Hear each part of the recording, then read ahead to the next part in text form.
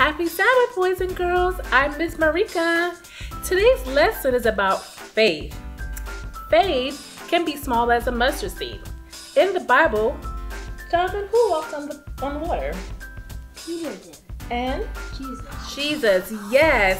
When Peter saw Jesus walking on the water, he wanted to know if it was truly him, and if so, he wanted to be close to him. He wanted to walk on water like Jesus. He even called out to Jesus and said, Lord, if it was you, tell me to come to you on the water. At first, he was timid to walk on water, but Jesus said, Take courage. It is I. Don't be afraid. Peter then got of the boat and started to walk on water. As soon as he saw the winds and the waves becoming rough, Peter began to sink.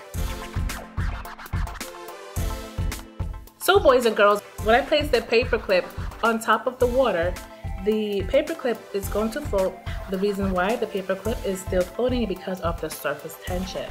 Once I place the dishwasher liquid on top of inside the water, the paper clip is going to um, sink. This is happening because of the surface tension has been broken by the chemicals.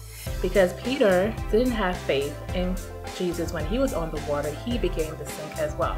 So boys and girls, let's keep our faith as we remain floating on the water. As soon as he saw the winds and the waves becoming rough, Peter began to sink. Peter cried out and said, Lord, save me. He was losing faith.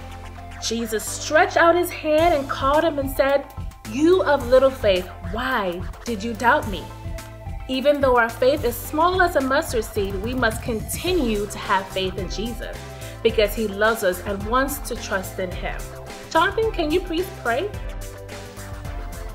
Now it is time for closing prayer. Dear Jesus, help us to have faith in you. Because if we don't, we will sink in faith like Peter did.